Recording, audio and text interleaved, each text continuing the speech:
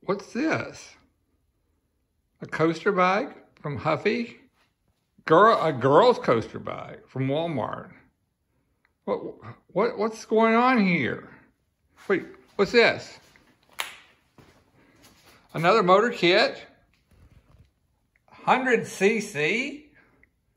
Wow, that's, that's a lot different than my other motor. Wonder what's going on here. And what? What? Another bike. 20 inch bike.